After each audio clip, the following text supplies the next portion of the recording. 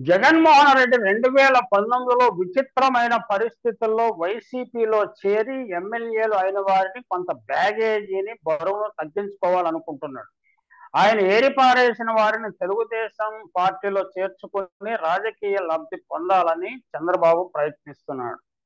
ఆయన వారిని కళ్ళకద్దుకుని చేర్చుకుంటాడా లేకపోతే వెయిట్ చేసేలాగా చేసి త- తర్వాత బతిమాలుకుని బామాలుకుని చేర్చుకుంటాడా? చంద్రబాబు చాలా వ్యూహ వ్యూహాత్మకంగా వ్యవహరిస్తాడని వేరుగా చెప్పనవసరం లేదు. ఎవరెవరికి తాను రెండు వేల ఇరవై నాలుగు ఎన్నికల్లో టిక్కెట్లు ఇవ్వటం లేదో జగన్ ముందుగానే వారి మొహం మీదే చెప్పేస్తున్నాడు. కలవరపాటుకు గురైన టీ వారు టీడీపీ తలుపులు తడుతున్నారు. అందువల్ల అందరినీ మూకుమ్మడిగా చేర్చుకోకుండా ప్రజాబలం ఉన్న వారిని మాత్రమే ఆచితీర్చి చేర్చుకోవాలని దేశం చూస్తున్నదని ప్రచారం జరుగుతోంది. తమ పార్టీలో చేరటానికి ఆసక్తి ఉన్నవారు నలభై నుంచి ఎనభై మంది దాకా ఉండవచ్చునని పచ్చ మీడియా ద్వారా తెలుగుదేశం ప్రచారం చేసుకుంటున్నది. నిజానికి అంతమంది ఉండకపోవచ్చు. ఒక ఇరవై ముప్పై మంది ఎమ్మెల్యేలను మార్చవచ్చు. ఆ మారిన వారందరూ కూడా వైసీపీలోనే అవకాశాల కోసం ఎదురు చూడవచ్చు. కానీ అందరూ టీడీపీలో చేరతారు అనుకోవటానికి ఆధారాలు ఏమీ లేవు. అంటే ఒక నెల్లూరులో ఆనంద రామనారాయణ రెడ్డి లేకపోతే ఇంకా ఒకళ్ళిద్దరు నాయకులు చేరి ఉండవచ్చు విచిత్ర పరిస్థితులు. అంతేగాని తమకు రాజకీయ భవిష్యత్తు లేదని వారు గుర్తించడం వల్ల వేరే వారు వారి మార్గంలో ప్రయాణించడానికి సందేహిస్తున్నారు. ఇప్పటికే ముగ్గురు మంత్రులు విడుదల రజని మేరుగ నాగార్జున ఆదిమూలపు సురేష్ను మాజీ మంత్రి మేకతోటి సుచరితను వేరే నియోజకవర్గాలకు బదిలీ చేశారు జగన్మోహన్ రెడ్డి. వ్యూహాత్మకంగా ఇంకొంతమందిని వేరే సీట్లకు మారుస్తారని మరికొంతమందిని పూర్తిగా మొండి చేయ చూపిస్తారని కూడా ప్రచారం జరుగుతుంది. ఈ ప్రచారం సహజంగానే సిట్టింగ్ ఎమ్మెల్యేలలోను మంత్రుల్లోనూ ఆరాటం పుట్టిస్తున్నది. దీంతో పలువురు ఎమ్మెల్యేలు ముందుగానే మేల్కొని టీడీపీలో అవకాశాలు వెతుక్కునే ప్రయత్నాలు ఇప్పటికే మొదలు పెట్టారని పచ్చ మీడియా ప్రచారం చేస్తుంది.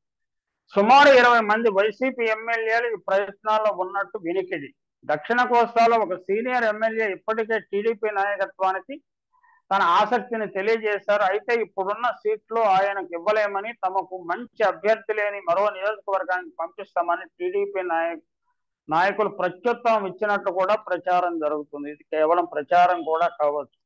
ఇది ఎలా ఉండగా జగన్ రెండు వేల పంతొమ్మిదిలో అధికారంలో వచ్చిన సమయంలో సలహాదారుగా ఉన్న ప్రశాంత్ కిషోర్ తాజాగా లోకేష్తో కలిసి ఢిల్లీ నుంచి ఉండవెల్లికి వచ్చాడు. చంద్రబాబుతో సుదీర్ఘ మంతనాలు జరిపి వెళ్ళిపోయాడు. దీంతో జగన్ పీకేతో లాభం లేదని తన జట్టును ఎగదోశారు. ఇక పీకే పై వైసీ ఎమ్మెల్యేలు తిట్లదండకం మొదలెట్టారంటూ కూడా పచ్చ మీడియాలో ప్రచారం జరుగుతోంది.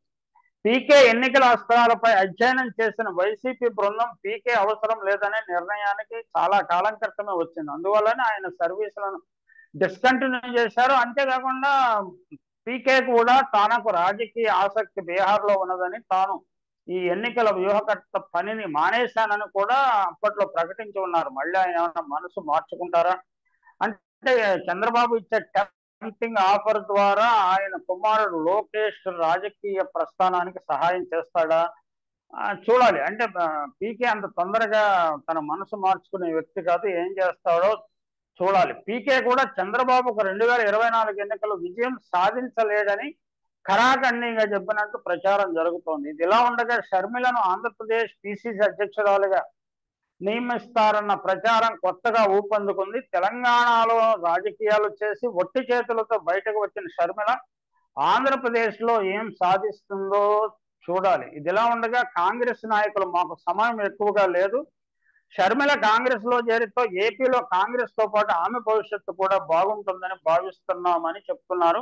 నిజానికి తెలంగాణలో పార్టీని టిఎస్ వైఎస్ఆర్ టీపీని కాంగ్రెస్లో విలీనం చేసేటానికి ఢిల్లీ వెళ్ళి చర్చలు జరిపినప్పుడు కూడా ఇటువంటి ప్రచారం ఏం చేశారో ఆ ప్రచారంలో శర్మిల ఇరుక్కున్నారు. ఆమెను బేలగా బయటకు పంపించేశారు. నిజానికి ఆమెకు వాగ్దానం చేసినవన్నీ అమలు చేశారా లేకపోతే చేస్తారా మనం చూడాల్సి ఉన్నది. అంటే it's too early to comple conclusion or to give a judgement.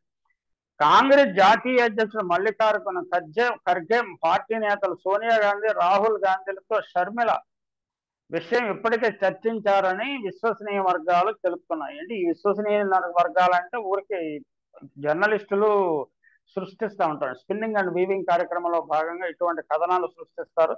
ఇందులో ఏది వాస్తవం ఏది కాదో మనలాంటి సామాన్యులు తెలుసుకోవటం కష్టం. వాస్తవానికి తెలంగాణ ఎన్నికలకు ముందే షర్మిల తన పార్టీని కాంగ్రెస్లో విలీనం చేసేందుకు కాంగ్రెస్ పెద్దలతో చర్చలు జరిపారు. ఫోటోలు దిగిరా అయితే ఆ పార్టీలో చేర్చుకుని ఏపీలో ఆమె సేవలు వినియోగించుకోవాలని వారు భావించారు. అప్పటి నుంచే ఆమెతో ఢిల్లీ పెద్దలు టచ్లో ఉన్నారు. అయితే ఆంధ్రప్రదేశ్లో ఆమె రాజకీయాల్లో పాల్గొనడానికి అంత ఆసక్తి లేనట్లుగా అప్పట్లో ప్రచారం చేశారు. ఇప్పుడు ప్రచారాన్ని మార్చారు. ఇదంతా కాంగ్రెస్ పెద్దల సహాయంతో జర్నలిస్టులు చేసే మాయ.